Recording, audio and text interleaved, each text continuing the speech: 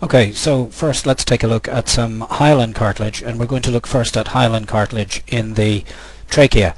In fact this is a slide you may have looked at uh, before. To get to this slide go to the search slides box, type trachea, T-R-A-C-H-E-A and select the second slide which appears in the uh, NYU virtual microscope. And this is the uh, slide as it appears here. The trachea is the windpipe. This surface here is the surface along which uh, air passes, and as you now know this is lined by respiratory epithelium, which we'll get to see in a moment. The hyaline cartilage is this material we see here and here, and the function of the hyaline cartilage in the trachea is to maintain the trachea in an open position, so it acts as a structural reinforcement uh, so that the trachea stays open and doesn't collapse on itself. Let's uh, zoom in in magnification a little bit. Uh, here again is the epithelial surface, which is lined with respiratory epithelium. Even at this magnification we can see the cilia on the pseudostratified columnar ciliated epithelial cells, and we can see goblet cells, these uh, fat-looking cells, which we'll see in more detail here. Here's the hyaline cartilage uh, here. We're going to zoom in in some more detail, and the things we're going to pay attention to are chondrocytes in their lacunae, which are the cells you can see in the spaces here, and we'll look and see if we can see much evidence of a perichondrium or a dense irregular connective tissue membrane which will blend with the outer surface of the uh, cartilage. So as we increase in magnification now to look here at the cartilage itself one thing I want to emphasize is that many of the spaces we'll see here or the lacunae in which the cells uh, should be located will have what looks like a small amount of material which doesn't fully occupy the space and this is because the cells during the course of tissue fixation shrink back from the edges of the lacunae in which they uh, are found. But in living hyaline cartilage the entirety of these spaces is filled by the cells that occupy them. The cells in hyaline cartilage are frequently found in groups, sometimes called cell nests or cell clusters. Here's a, one such cluster here, a grouping of them. And an older term for that is isogenous uh, groups.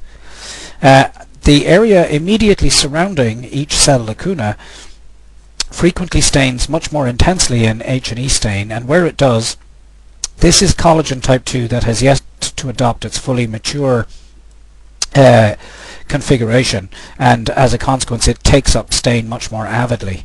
Mature hyaline cartilage is the material we see here. It's a fairly homogeneous uh, pink mauve coloured uh, material and you can see that the chondrocytes are embedded within uh, this material. If we move toward the outer edge of the cartilage, we'll see along here some more pink connective tissue. So this is collagenous connective tissue. In fact, it's dense irregular uh, connective tissue. And this is the dense irregular connective tissue that forms the perichondrium, or the layer of uh, connective tissue which abuts and is adjacent to the hyaline cartilage. And finally, if we go to the other surface here, we're looking now at the uh, epithelium. You know that respiratory epithelium is pseudostratified ciliated columnar epithelium with goblet cells. Here's a very good example of a goblet cell and a goblet cell and a goblet cell. Here are the cilia extending outward from the surface of the cells. These are long and motile. And here we can see why it is that the epithelium is referred to as pseudo uh, stratified because if we look at the nuclei, say for example this one here and this one here and this one here, and there are other nuclei down here, the appearance initially is of a stratified epithelium. But experimentally we can demonstrate that in fact none of these cells are stacked one on top of the other. All of these nuclei belong to cells whose bases are attached to the basement membrane along here somewhere, but it's just that the height of the cells vary. So some of the cells, for example this one, doesn't reach up to the lumen, whereas for example this one uh, actually does reach to the lumen. For the purposes of comparison, we're going to look at hyaline cartilage in another slide of trachea. It's one that, again, that we have looked at before. If you type trachea into the search slides box and choose the third slide, this is one of these multi-tissue uh, slides, and you'll recollect from before that we've looked at small intestine, we've looked at tongue and we also looked at this which is trachea again. In this case the trachea has been stained with periodic acid Schiff, a special stain which highlights uh, glycoproteins. So we're going to zoom in now just to look at the hyaline cartilage and make a comparison between the hyaline cartilage on this slide and the one we saw on the previous slide. And again as we zoom up in magnification here is the hyaline cartilage here. The color of the hyaline cartilage uh, looks different because of the different stain which is used. But again, between the uh, cells and their lacunae, you can see that the hyaline cartilage is relatively homogeneous and smooth appearing.